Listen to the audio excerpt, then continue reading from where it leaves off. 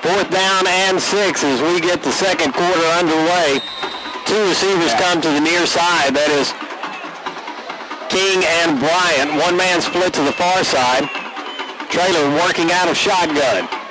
Takes a snap, fakes to give, drops straight back, looks to throw. Has a man towards the end zone looking for King. Touchdown Malvern! Wow. Oh, what a. Wow.